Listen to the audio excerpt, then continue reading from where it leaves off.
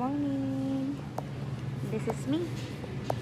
Early bird in the Walmart. Pag Walmart na naman ako. Wala masyadong tao. So, uh, maybe I can get something. Hopefully. Hmm. Sana may mga stock ngayon.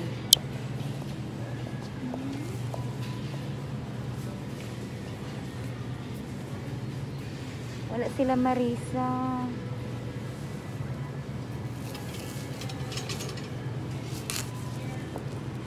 There's no chicken.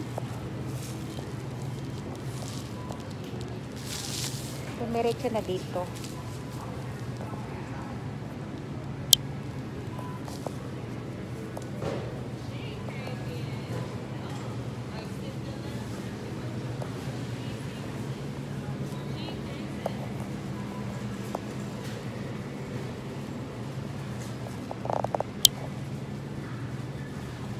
Asawa, dito. I, I'm here in Walmart, sorry.